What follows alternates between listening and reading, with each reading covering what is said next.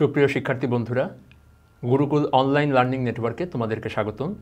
আমাদের আজকের আলোচনার বিষয়, নবম, দশম শ্রেণির বাংলা প্রথম পত্র। তোমাদের সাথে ইনস্ট্রাক্টর হিসেবে আছি আমি সাইম রুম্মান। আমাদের আজকে যে কবিতাটি নিয়ে আমরা আলোচনা করব, সেটি হলো রানার লিখেছেন সুকান্ত ভট্টাচার্য। কবিতাটির মূল ভাবটি এরকম, সুকান্ত ভট্টাচার্যের সিংহভাগ কবিতায় শ্রমজীবী মানুষের কথা উঠে এসেছে। তো রানার শব্দটির অর্থ ডাক হর করা। কিংবা আমরা যাকে বলি ডাক পিয়ন কিংবা যিনি আরও সহজে বলে যিনি এক জায়গা থেকে আরেক জায়গায় চিঠি পৌঁছে দেন। গ্রাহকের কাছে চিঠি পৌঁছানোর দায়িত্ব যার, তাকেই বলা হয় রানার বা ডাক হর করা বা ডাক পিয়ন। তো একজন রানারের জীবন নিয়ে বা একজন রানারের কাজটা যে কতটা গুরুত্বপূর্ণ, সেই ভাবনাটি সুকান্ত ভট্টাচার্য তার এই কবিতায় তুলে ধরেছেন। এবং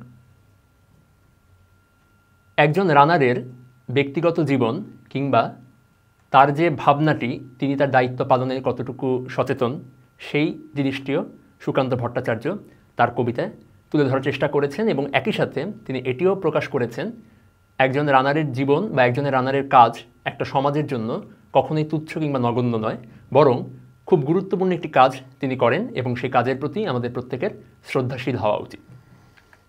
শিখনফল কবিতাটি পাঠ করে শিক্ষার্থীরা শ্রমের মর্যাদা অনুধাবনে সচেষ্ট হবে। এবং সকল শ্রমজীবী মানুষের কাজের প্রতি শ্রদ্ধাশীল হয়ে উঠবে। কবি পরিচিতি, সুকান্ত ভট্টাচার্যের জন্ম সালটি খুব গুরুত্বপূর্ণ নয়, ওনার জন্মস্থানটা গুরুত্বপূর্ণ, কলকাতার কালীঘাটে তিনি জন্মগ্রহণ করেন। দ্বিতীয় মহাযুদ্ধের বিশ্বব্যাপী ধ্বংস আর মৃত্যুর তাণ্ডব লীলা কিশোর সুকান্তকে দারুণভাবে স্পর্শ করে। তিনি যে সময়কালে ছিলেন, ওই সময়টিতে দ্বিতীয় মহাযুদ্ধ সংগঠিত হয় এবং সেই দ্বিতীয় মহাযুদ্ধ তার সাহিত্য জীবনে একটি খুব গভীর রেখাপাত করে।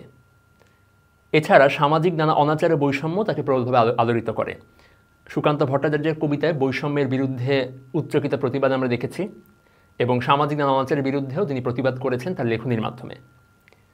নিপীড়িত গণমানুষের প্রতি মমতার প্রকাশ ঘটেছে তার কবিতায়, যেটি এই কবিতা দ্বারাই আমরা খানিকটা বুঝতে পারি। গণমানুষের কথা তিনি তুলে ধরেছেন এবং গণমানুষের প্রতিনিধি হিসেবে রানারকে উপস্থাপন করেছেন। তার কাব্যগ্রন্থগুলোর মধ্যে উল্লেখযোগ্য, ছাড়পত্র, ঘুম নেই, পূর্বাভাস, অভিযান, হরতাল ইত্যাদি। বাইশে বৈশাখ, উনত্রিশে বৈশাখ, তেরোশো চুয়ান্ন বঙ্গাব্দে মাত্র একুশ বছর বয়সে কবি মৃত্যুবরণ করেন। আমরা মূল কবিতায় চলে যাচ্ছি।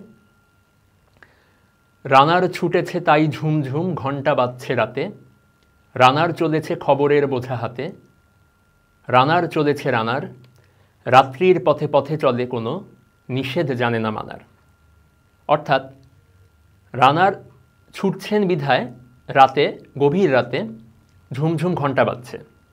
কারণ ডাকঘর করা যখন এক গ্রাম থেকে আরেক গ্রামে যায় কিংবা গ্রাম থেকে শহরে যায় এবং সিংহভাগ ক্ষেত্রে সেটা হয় রাতে রাতে তিনি রওনা দেন এবং ভোরের মধ্যে শহরে তাকে চিঠিগুলো বা খবরগুলো পৌঁছাতে হয়। তাই স্বাভাবিকভাবেই গভীর রাতে ঝুমঝুম যখন ঘণ্টা বাজছে, এর কারণটি হলো রানার ছুটে চলেছে এবং সে এর মধ্য দিয়ে তার অস্তিত্বের জানান দিচ্ছে এবং তিনি যে একটি কাজে নিয়োজিত, সেটিও প্রকাশিত হচ্ছে এই ঘণ্টা বাজার মধ্য দিয়ে। রানার চলেছে খবরের বোঝা হাতে। কার খবর? সবার খবর। অর্থাৎ যে চিঠি, সেই চিঠিতে তো নানা খবর থাকে। সুখের খবর থাকে, দুঃখের খবর থাকে, শোকের খবর থাকে, আনন্দের খবর থাকে, বেদনার খবর থাকে। এই সমস্ত খবর নিয়ে তার হাতে এই বোঝাটি নিয়ে রানার ছুটে চলেছে এবং রাত্রির পথে পথে চলে কোনো নিষেধ জানে না মানার। এবং তার এই ছুটে চলার মাঝে কোনো কিছু বাধা হয়ে দাঁড়াতে পারে না। যত প্রতিকূল পরিবেশ থাকুক না কেন, যত কঠিন পরিস্থিতি থাকুক না কেন, রানার তার দায়িত্ব পালন করে চলে, রাত্রির পথে ছুটে চলে এবং কোনো নিষেধের তোয়াক্কা না করি দিগন্ত থেকে দিগন্তে ছোটে রানার, কাজ নিয়েছে সে নতুন খবর আনার। অর্থাৎ এক দিগন্ত থেকে আরেক দিগন্তে ছুটে যায় এবং তার কাজই হচ্ছে নতুন নতুন খবর আনা। রানার রানার, জানা অজানার বোঝা আজ তার কাঁধে কাঁধে। বোঝাই জাহাজ রানার চলেছে চিঠিয়ার সংবাদে। অর্থাৎ জানা অজানার বোঝা, অর্থাৎ তার কাঁধে যে চিঠিগুলো তিনি বহন করছেন একটি থলিতে, সেই চিঠিগুলোতে অনেক জানা অজানা কথা আছে। তাই সেটাকে বলা হচ্ছে জানা অজানার বোঝা। আর রানারকে বলা হচ্ছে বোঝাই জাহাজ। এমন একটি বোঝাই জাহাজ, যেই জাহাজে অনেক মানুষের চিঠি আর সংবাদ। বোঝাই জাহাজ রানার চলেছে চিঠি আর সংবাদে। রানার চলেছে বুঝি ভোর হয় হয় আরও জোরে আরও জোরে, এ রানার দুর্বার দুর্জয়। রানার চলছে এবং তার মনে একটি শঙ্কা কাজ করছে যে কখন না ভোর হয়ে যায়। কারণ তাকে ভোর হবার আগেই শহরে পৌঁছাতে হবে এই চিঠিগুলো নিয়ে। এ কারণে সে আরও জোরে আরও জোরে সে চলতে থাকে তার চলার গতি আরও বেড়ে যায় এবং এই রানার দুর্বার দুর্জয়, অর্থাৎ কোনো কিছু দিয়েই তাকে নিবারণ করা যায় না। সে যে কোনো মূল্যেই হোক জয়ের সোপানে বা জয়ের দ্বারপ্রান্তে পৌঁছাতে চায়। তার জীবনের স্বপ্নের মতো পিছে সরে যায় বন। আরও পথ আরও পথ, বুঝি হয় লাল ও পূর্বকোণ অর্থাৎ তার জীবনের স্বপ্নগুলোর মতোই বনগুলো পিছে সরে যায়। এটি খুব তাৎপর্যপূর্ণ একটি লাইন। তার জীবনের অনেক স্বপ্ন ছিল হয়তো বা রানারের। সেই স্বপ্নগুলো জীবনের পরিক্রমায় সেই স্বপ্নগুলো পিছে সরে গিয়েছে। ঠিক যেভাবে সে যখন বনকে অতিক্রম করে, বন ঠিক সেইভাবেই তার পিছে সরে যায়। অর্থাৎ তার জীবনের স্বপ্ন মতোই বন পিছে সরে যাচ্ছে। সে যত সামনে এগোচ্ছে এবং আরও অনেক পথ আরও অনেক পথ পাড়ি দিতে হবে তাকে এবং তার মনে এই শঙ্কা কখন ওই পূর্বকোণ লাল হয়ে যায়। অর্থাৎ কখন পূর্বাকাশে সূর্য উদিত হয়। এরকম একটি ভয় তার মধ্যে কাজ করতে থাকে। অবাক রাতের তারারা আকাশে মিটমিট করে যায়, কেমন করে এ রানার সবেগে হরিণের মতো যায়। অর্থাৎ রাতের তারারা খুব অবাক হয়ে তাকে অবলোকন করে এবং তারা বিস্মিত হয় যে এই রানার কীভাবে হরিণের মতো, হরিণ যে যেরকম নিঃশব্দে খুব দ্রুত যেতে পারে, এই রানারও কীভাবে নিঃশব্দে হরিণের মতো সবেগে ছুটে চলে তার কাঙ্ক্ষিত লক্ষ্যে। রাতের তারারাও অবাক হয়ে চেয়ে চেয়ে এটি অবলোকন করে। কত গ্রাম, কত পথ যায় সরে সরে, শহরে রানার যাবেই পৌঁছে ভরে। অর্থাৎ অনেক গ্রাম পথ সরে আসতে থাকে, অর্থাৎ তিনি অনেক গ্রাম এবং অনেক পথ অতিক্রম করে এগোতে থাকেন এবং যে কোনো মূল্যেই হোক রানার ভোর হবার আগেই কিংবা ভোরে শহরে পৌঁছে যাবে। হাতে লণ্ঠন করে ঠনঠন জোনাকিরা দেয় আলো মাভই রানার এখনও রাতের কালো। লণ্ঠন মানে হারিকেন। হাতের যে লণ্ঠনটি, অর্থাৎ যেই হারিকেনটি হাতে নিয়ে তিনি ছুটে চলেছেন, সেটি ঠন ঠন আওয়াজ করছে। জোনাকিরা দেয় আলো এবং রাতের যে জোনাকি, তারা আলো দিচ্ছে এবং কবি বলছেন যে এখনও রাতের কালো এখনও শঙ্কার কোনো কারণ নেই। এমনি করেই জীবনের বহু বছরকে পিছু ফেলে, পৃথিবীর বোঝা ক্ষুধিত রানার পৌঁছে দিয়েছে মেলে। অর্থাৎ এভাবেই জীবনের অনেকগুলো বছরকে পিছনে ফিরে অর্থাৎ বহু বছর এই একই কাজ করবার মধ্য দিয়ে পৃথিবীর বোঝা পৃথিবীর বোঝা অর্থাৎ মানুষের নানান ধরনের চিঠি, খবর, এই সমস্ত কিছু ক্ষুধিত রানার, অর্থাৎ ক্ষুধার্থ রানার, যিনি এত গুরুত্বপূর্ণ একটি কাজ করেন, এত পরিশ্রম করেন, অথচ দিন শেষে যিনি তার নিজের আহার্য যোগাতে পারেন না। সেই ক্ষুধিত রানার পৌঁছে দিয়েছে মেলে মেল মানে হচ্ছে ইমেইলের যেরকম মেল ওরকম মেল অর্থাৎ ডাক বাক্সে পৌঁছে দিয়েছে। শহরে পৌঁছে, শহরের মেলে পৌঁছে দিয়েছে।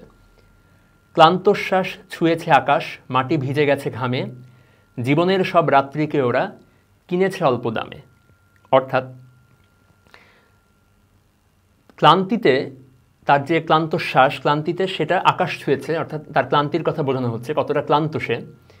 তার ক্লান্তির বহির্প্রকাশ ঘটছে যে তার যে ঘামে মাটি ভিজে যাচ্ছে, সেই যে মাটিতে দাঁড়িয়ে আছে বা যে মাটিকে, মাটির উপর সে চলছে, সেই মাটি ঘামে ভিজে যাচ্ছে। এবং জীবনের সব রাত্রিকে, অর্থাৎ জীবনের এরকম অসংখ্য রাত্রি, খুবই অল্প দামে কিনে নেওয়া হয়েছে ওদের কাছ থেকে। অর্থাৎ একজন রানার, যিনি তার জীবনের অসংখ্য রাত্রি এভাবে যাপন করেছে, তার দায়িত্ব পালনে। কিন্তু এর বিনিময়ে যে পারিশ্রমিকটি সে পায়, সেটি খুবই সামান্য। অর্থাৎ তার জীবনের এই রাত্রিকে খুব অল্প দামে কিনে নেওয়া হয়েছে।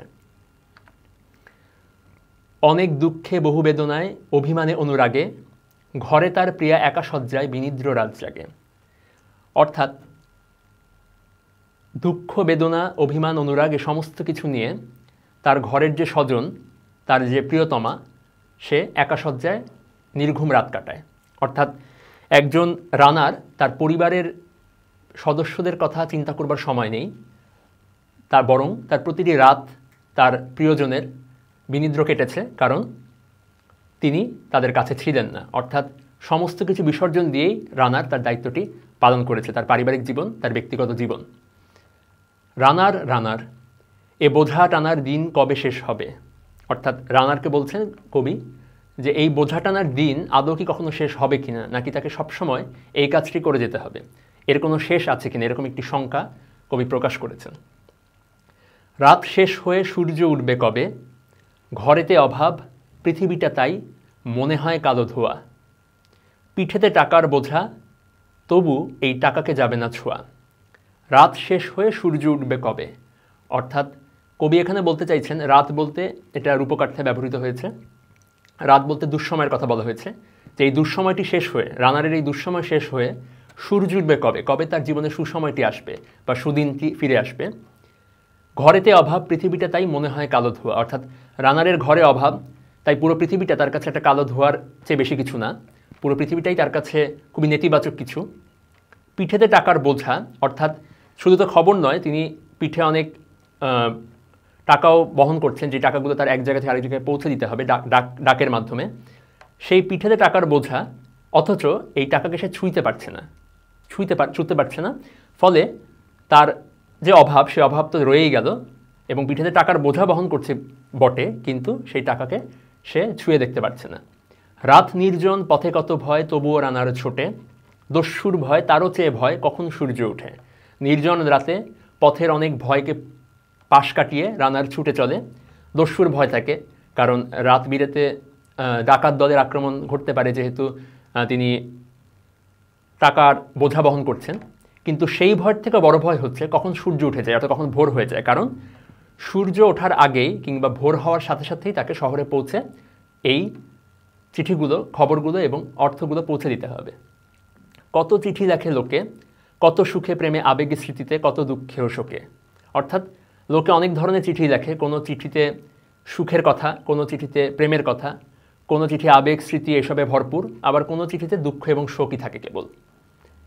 এর দুঃখের চিঠি পড়বে না জানি কেউ কোনো দিনও। এর জীবনের দুঃখ কেবল জানবে পথের তৃণ। কিন্তু যে মানুষটি এই শোক শোক, দুঃখ, আবেগ, স্মৃতি সুখপ্রেমের খবরগুলো বহন করছে বা চিঠিগুলো বহন করছে, এই মানুষটির দুঃখের চিঠি কেউ কোনোদিন জানতে পারবে না। শুধুমাত্র জানতে পারবে পথের তৃণ অর্থাৎ পথের যে ঘাসটি যে ঘাসটি মারিয়ে তিনি তার গন্তব্যস্থলে পৌঁছান, শুধুমাত্র সেই ঘাসটি জানবে তার দুঃখের কথা। অর্থাৎ কবি বলতে চাইছেন, এই মানুষটির দুঃখ সবসময় অন্তরালি থেকে যাবে। কেউ জানতে পারবে না, শুধুমাত্র এই মানুষটি যে পথ ধরে গিয়েছে সেই পথের তৃণ তার কথা মনে রাখবে। অর্থাৎ খুবই সামান্য একটি জিনিস তার কথা হয়তো মনে রাখবে। এর দুঃখের কথা জানবে না কেউ শহরে ও গ্রামে। এর কথা ঢাকা পড়ে থাকবেই কালোরাত্রির খামে অর্থাৎ এই রানারের দুঃখের কথা শহরের গ্রামের কেউই কখনো জানতে পারবে না, যাদের কাছে সে এই চিঠিগুলো পৌঁছে দেয় তারা কেউ কোনো দিন জানতে পারবে না। এবং কালোরাত্রির খামে অর্থাৎ এই কালোরাত্রি এই খামে তার দুঃখটা ঢাকা পড়ে থাকবে। এটি একটি উপমার মধ্য দিয়ে কবি প্রকাশ করেছেন যে কালোরাত্রির খাম অর্থাৎ এই কালোরাত্রিতে তার যেই কাজটি, সেই কাজটি আসলে ঢাকা পড়ে থাকবে, কেউ তার দুঃখের কথা কখনো জানতে পারবে না। দরদে তারার চোখ কাপে মিটিমিটি। একে যে ভোরের আকাশ পাঠাবে সহানুভূতির চিঠি। অর্থাৎ দরদে তারার চোখ কাপে মিটিমিটি, অর্থাৎ তার এই দুঃখ দুর্দশা দেখে আকাশের তারার মিটিমিটি কাপে। তারার চোখ, কবি কল্পনা করছেন যে আকাশের তারাও তার প্রতি সহানুভূতিশীল হয়ে ওঠে। একে যে ভোরের আকাশ পাঠাবে সহানুভূতির চিঠি। যাকে ভোরের আকাশও সহানুভূতির চিঠি পাঠাতে চায়। কারণ রানারকে তো আসলে কেউ চিঠি লেখার নেই, কিংবা তাকে সহানুভূতি প্রকাশ করে কেউ সমবেদনা জানাতে আসবে না। তো ভোরের আকাশ তাকে সহানুভূতির চিঠি পাঠাবে, কবি ভাবছেন।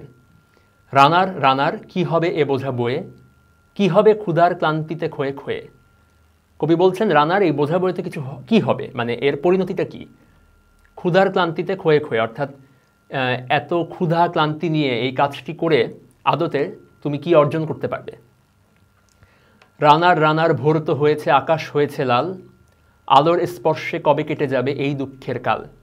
অর্থাৎ ভোর হয়ে গেছে, আকাশও লাল হয়ে গেছে, এরকম একটা পরিস্থিতি।